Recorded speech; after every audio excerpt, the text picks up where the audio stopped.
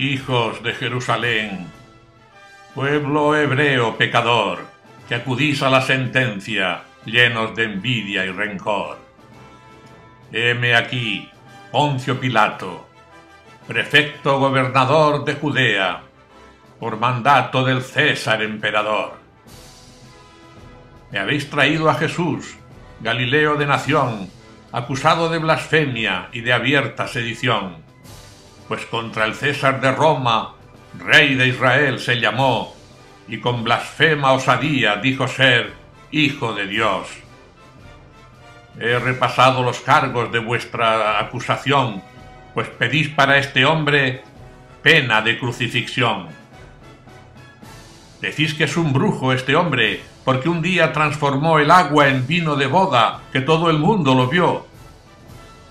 Y a María Magdalena este hombre perdonó, siendo pecadora pública, cuando los pies le lavó. Que a un ciego de nacimiento es fama que lo curó con barro que hizo en el suelo, y en sus ojos lo aplicó. Y a los nobles fariseos con saña los insultó, pues sepulcros blanqueados y víboras los llamó. Que a mercaderes honrados con saña infame azotó y arrogándose poder del templo los expulsó. Que a Lázaro, tres días muerto, que daba muy mal olor, llamándole por su nombre, la vida le devolvió.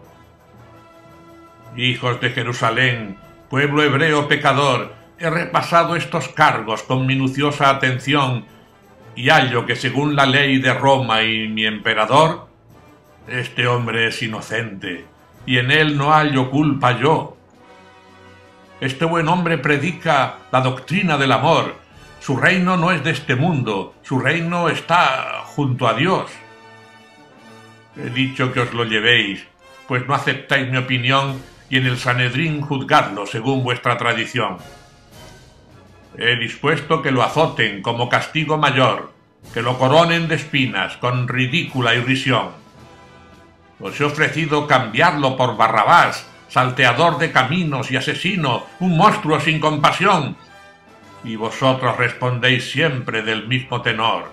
Si eres amigo del César, Pilato, crucifícalo. ¿Qué otra cosa puedo hacer?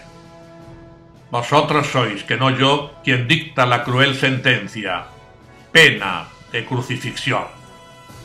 Caiga pues sobre vosotros, pueblo hebreo pecador, la sangre de este hombre justo, como eterna maldición.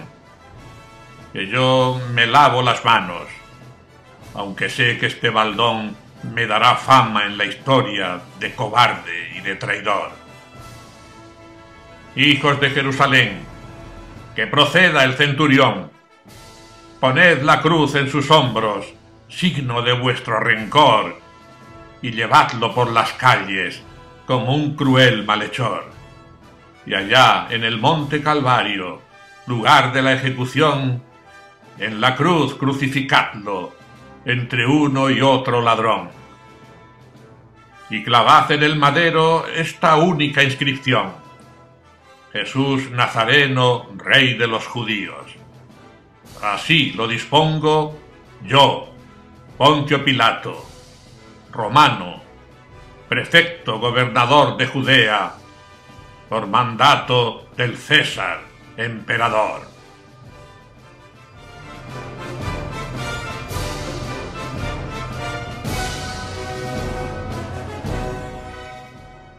nuestro Padre Jesús de la sentencia, Hijo de Dios y Rey de lo creado. Tú que eres la bondad y la inocencia, con ásperos cordeles maniatado.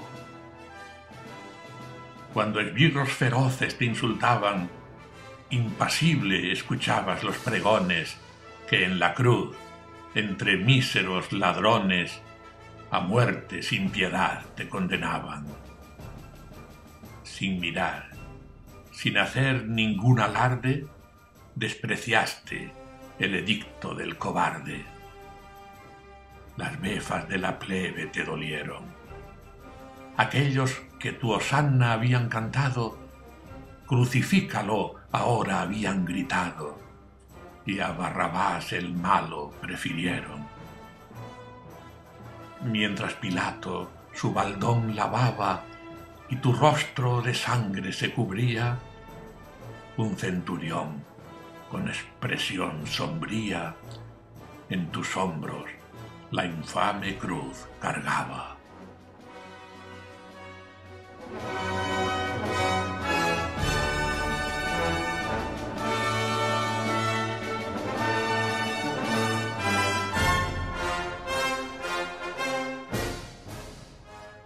lágrimas y amargura.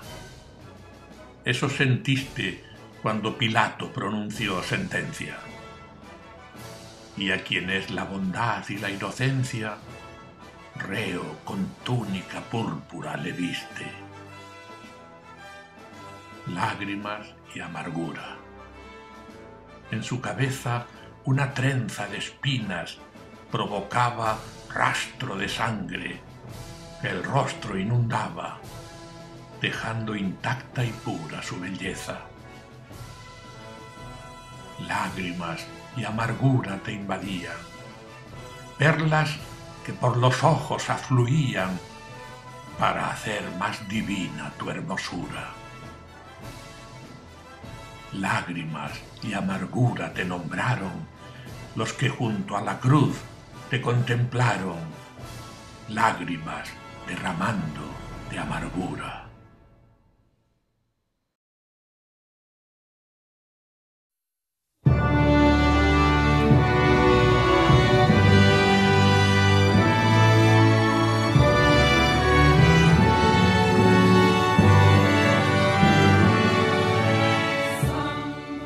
Nuestro Padre Jesús de la sentencia, Madre de lágrimas y de amargura, Contemplad ahora la aflicción de España, que sufre una espantosa noche oscura.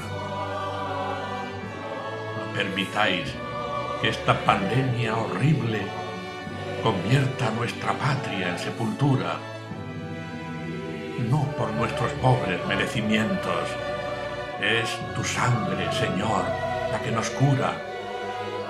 Son tus lágrimas, Madre, las que sanan. Sabéis que nuestra fe es tan insegura. Olvidad nuestro olvido y nuestra acedia.